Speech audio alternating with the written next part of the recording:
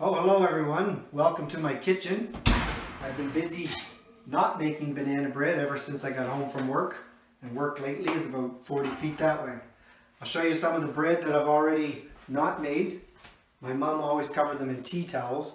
I don't know why. I'm doing it because it's not bread, it's just wood. But that's why.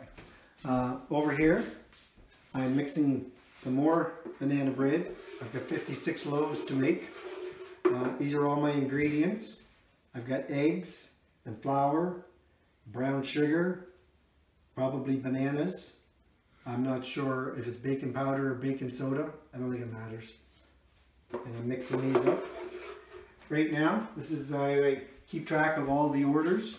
I've got banana bread, banana bread, banana bread, banana bread.